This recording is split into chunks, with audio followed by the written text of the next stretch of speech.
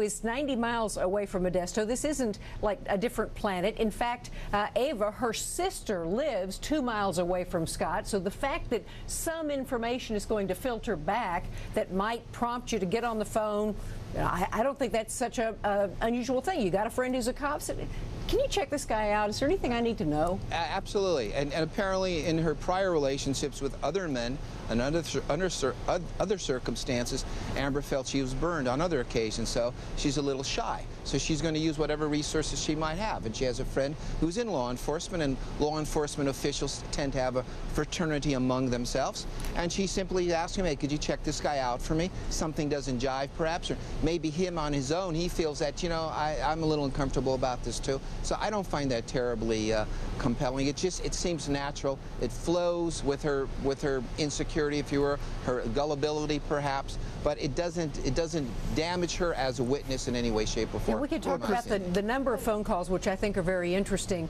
but go, go ahead. I think it dovetails into the defense theory that yeah. the, the, law enforcement zeroed in on Scott immediately. But they didn't check out the other even went missing on the 21st. On the tw but, but you're right. But the 21st, it started to have, like, say, what is this guy? Is he married? But by the 24th, right. they started the momentum. I mean, the media was starting, starting to surround Laci's disappearance. Okay, right other than the, the quote rush to judgment, though, that he that they didn't look at enough people. Of course, we know now all of the other things they did and the mines they searched and the waterways and the homeless people, all the rest of this. Yeah. Um, but so what? They didn't manufacture any of this evidence. There's nothing but a few crumbles of concrete that someone might say, someone even, you know, alleging that they planted a single hair. Know, if you're going to plant some hair, let's let's well, that's get a handful here. But I think the defense is trying to say, look, the police are conflating two things, okay? Here is this detective, Richard Byrd, who's looking out for his friend Amber Frey, sure. suspicious about this nefarious boyfriend she has. It turns out he's married and he's lying about that. They're going after him from 1221, three days before Laci is reported missing. As soon as Laci is missing, boom, Scott Peterson is the first suspect. Not just a rush to judgment, but a motive, been, by, a motive been, by though, the police to protect Amber because she's tied in with law enforcement and they're all out to get Scott because they want to protect Amber. She's doing a good job there. She yeah. didn't believe a word of it. Beth Karas, thank you very much. And don't forget for more on the Scott Peterson case, including photos of other ex-lovers who have taken the stand in high-profile cases, log on to courttv.com. We got much more on the other side.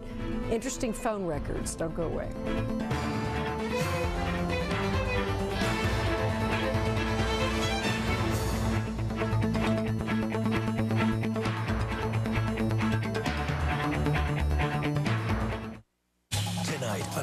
Forensic Files.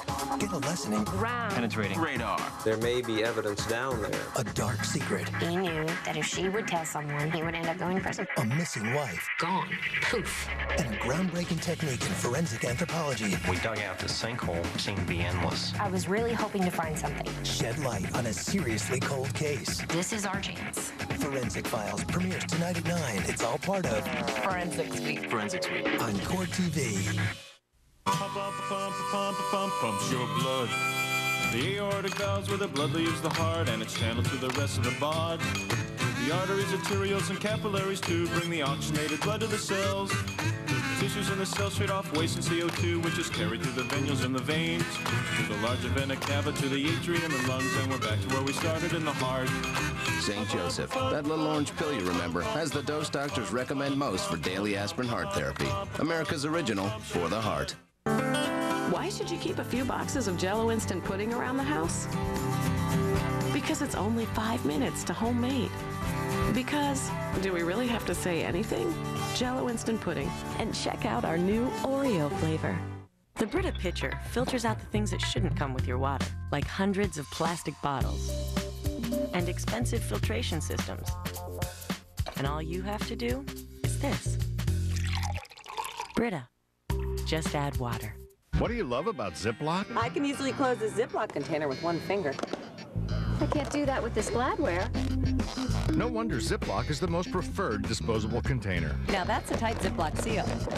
Ziploc, designed with you in mind. What do you love about Ziploc? Ziploc's got a snap and seal lid. See, it's close. Gladware doesn't have a snap and seal lid. See? Miss Stevens! Ziploc, designed with you in mind. Hi, do you love to cook? Ever think about making a career of it? If the idea of cooking for fun and money sound appealing, then think about this. Training to be a head chef, a pastry chef, or a sous chef. Why don't you look into the culinary program at Pennsylvania Culinary Institute, where tomorrow's great chefs of the world are being trained. And one of those chefs could be you. For a brochure, call 800 695 1500. That's 695 1500. Call now. It feels great not to worry about paying my bills anymore, not to be anxious and scared. If you're a homeowner and you want to feel good again, if you want to put financial fear and anxiety behind you, call H&R Block Mortgage today for your free debt reduction analysis. If there's a way to cut your mortgage payment and significantly reduce your monthly bills, H&R Block Mortgage will find it. Feel good. Call 1-800-727-6115 today for your free debt reduction analysis. Continuing our discussion of the Scott Peterson murder case, I want to talk about cell phone records. This is something I was quite interested in. Who was he calling on the 23rd? Anybody? Who was he calling anyone in the evening hours? Was he on the internet? Uh, what? Who did he call on the 24th? What about the 25th? What was his pattern that we could discern? So we have found some cell phone records. Unfortunately, these records show who he is calling from one of the cell phones, and I think there are, there's at least two, if not if not more than two. But something I found quite interesting on December 23rd, this guy calls his voicemail starting at 8:30 in the morning 17 times before 5:30 that afternoon. Now this is the 23rd, so between hmm. 8:30 and 5:30, you've got nine hours and 17 times nine of these times before lunch, he's wow. checking his voicemail. I just think that's kind of interesting. Mm -hmm. I don't check my voicemail like that. No. I don't know many people that do. I do. I do. Oh, you guys. Okay. you're, ruining, you're ruining my story. Yeah, but you're lawyers. It's yeah, you're right. You got clients. We actually locked up in worry jail. about clients and stuff. Yeah, yeah well, I remember, I remember my ex-husband was a defense attorney and I was a prosecutor and the phone rang one night and I picked up the phone to some guy in jail and I said, that's exactly where you belong. Michael's going, no, give me the phone. Sorry, I shouldn't tell those stories. Okay, won't tell anyone. Uh, yeah, right. On the 24th, on the 24th of December, we have got uh, 13 checks of his voicemail. But interesting, this is the 24th. One, which is that 1008 yes. phone call we all know about, and not another check until he is home at at. Uh, all right, I, wait a minute, there's there the two in the street, but then no more until he gets home. So we've got all of those. He checked his voicemail when he was driving back right. at, at 212 and checked his voicemail right back to back, so he may, may have lost the connection. But here's a guy who, who's doing it so there's this big gap. He's not. And Catherine, he's, he's got this checking. He's got this hour and a half trip, according to his story, up to go fishing, beginning at about 10 a.m., getting uh -huh. there at around noon. What do you do on a long, boring car ride if you're somebody who's always on the phone? You pick up the phone and you make phone calls, and at a minimum, if you're Scott Peterson, compulsively checking messages, you check your messages. Hey, call Amber Frey, mm -hmm. call your business associates. Christmas he doesn't Eve make a single call. But Lisa, it's Christmas Eve day. Who's actually making phone Amber calls that day? is always available. You know, on Amber's Christmas, people don't get the phone. That's when you call your friends. That's when you call your family. No, I, I, you know, Well, I think you guys I are over the. day. First of all, the cell. If you're checking cell phones, there's usually a little buzz. If uh, you know that says you got a message or something like that, or it buzzes to you, so you would know if you got a message. It's not uncommon that you would come back to work on Christmas and there's no messages on your machine or Christmas Eve. Most people know the telephone traffic on Christmas among businesses and stuff like that is a lot less. So that in and of itself, I don't think points to anything incredibly suspicious. Well, I want to know who, who's calling him then because we've got 832, 942, 1009, 1012, um, 1043, 1045, and these are that's all the morning of the 23rd, and then Is one anything- one at 1008 and one at uh, at 212. But no one's right. coming, These are cell calling in, though. These are incoming calls. Right. No, I mean, no, no, you- I'm talking. No, no, I'm talking The 1008, yeah, voicemails. Just 1008 is voicemails. checking his This is him calling his voicemail, but you would get a message on your phone Oh. saying there's a message. isn't it? over and over and over. Well, maybe I mean, yes, I maybe mean, no. Uh, it's it's a good most question. Just, I'm just looking at patterns here, and Most- he talks to a lot of people on the phone. Can we go back to the th the three conversations between December 15th and the 24th, though? How Geragos could use that possibly to indicate that this guy's playing in. You don't you don't like the avenue I'm pursuing. All right, Gary, you can go back to the. I want to go to the murder. I want to. I mean, I know you're going to tell me between, you know, the, the three conversations between December 15th and December 24th.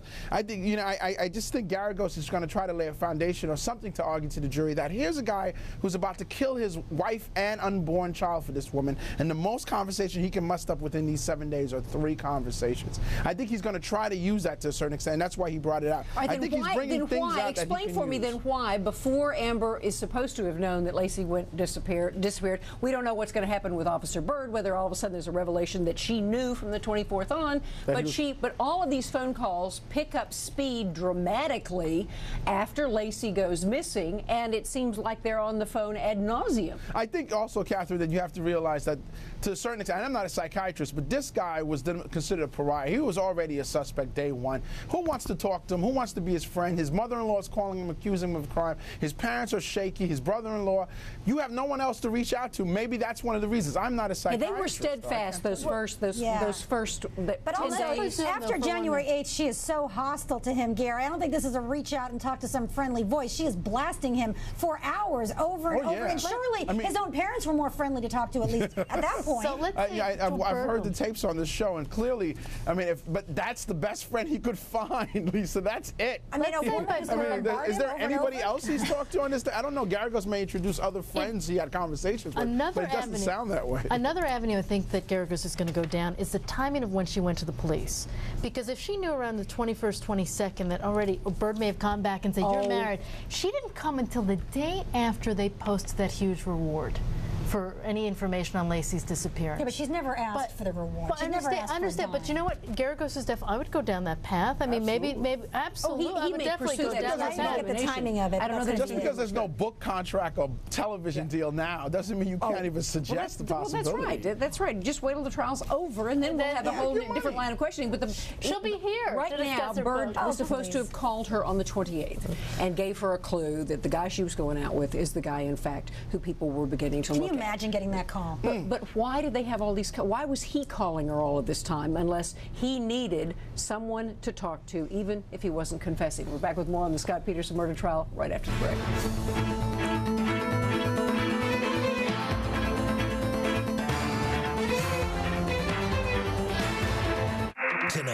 Get a lesson in high-tech crime solving with Forensics Week. First at 9 on an all-new Forensic Files. Ground penetrating Radar. An innovative forensic technique sheds light on a cold case. At 9.30 on Forensic Files. PCR Testing. A unique DNA test helps bring a rapist to justice. And at 10 on The Investigators. Clue. interpretation. Detectives dive deep for answers to a murky mystery. Forensics Week. Tonight from 9 to 11 on Court TV.